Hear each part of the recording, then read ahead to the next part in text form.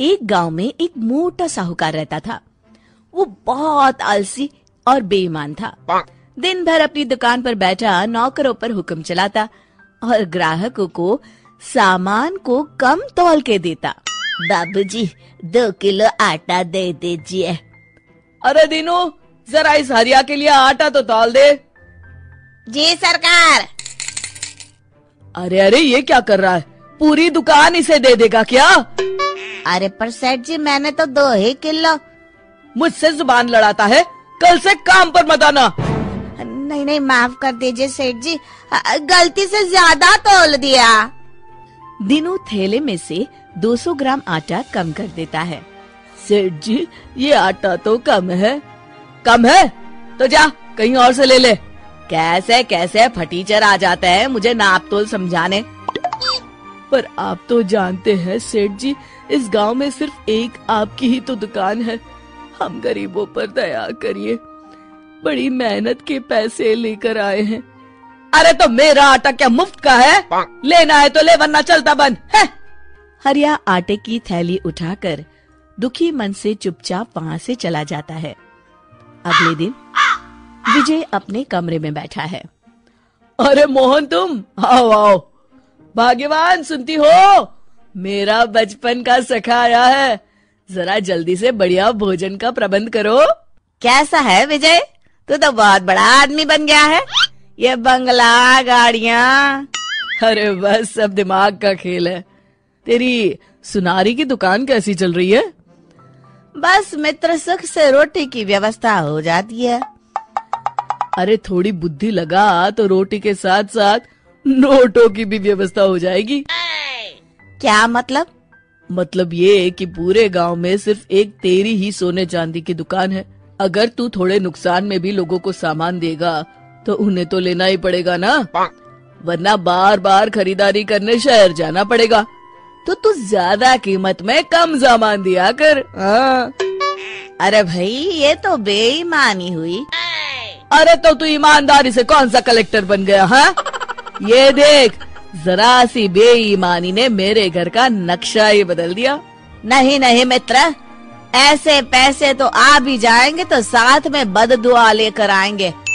किसी की मेहनत की कमाई को मैं ऐसे बेईमानी से नहीं हड़प सकता।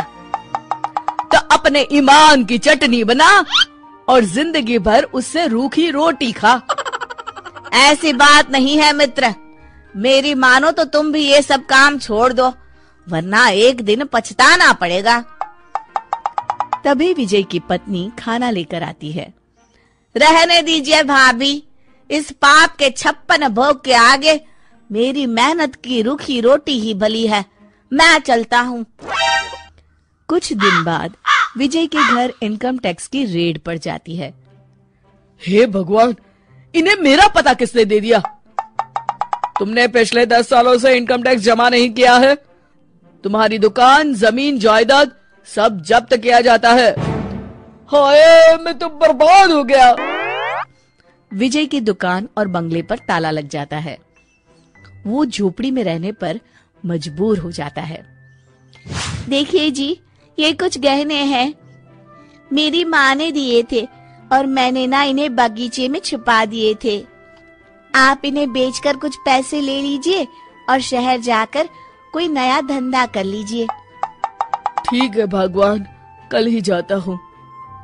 विजय अगले दिन मोहन की दुकान पर पहुँचता है। विजय तुम? अरे ये क्या खस्ता हाल बना रखा है मित्र? अरे क्या बताऊँ तुमसे? जाने किसकी बुरी नज़र लग गई? सब चौपट हो गया। खैर ये कुछ गहने हैं। आठ नौ तोला सोना होगा। मुझे इसके बदले पैसे दे दो। कुछ नया इंतज़ाम करता हूँ। वो तो ठीक है पर मैं तुम्हें पाँच तोले के ही पैसे दूँगा। क्या? तुम्ही ने तो सिखाया है मित्र। अरे पर अभी मेरे बहुत बुरे दिन है। ले देकर बस यही गहने बचे हैं मेरे पास।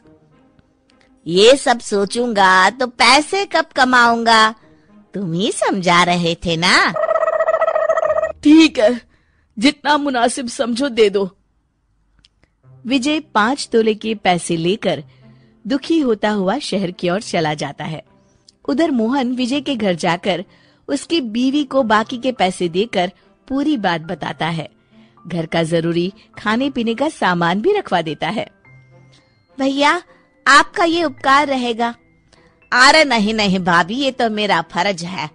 मैंने जो कुछ भी किया, विजय को सही राह दिखाने के लिए। शाम को जब विजय वापस आता है उसकी पत्नी उसे पूरी बात बताती है। मैं बहुत शर्मिंदा हूँ। ये मेरे कर्मों का ही नतीजा है जो आज हमें ये दिन देखना पड़ रहा है। कोई बात नहीं जी। देर आए दुरुस्त आए।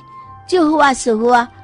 अब नया काम पूरी लगन और ईमानदारी से करिएगा जी। शिक्षा?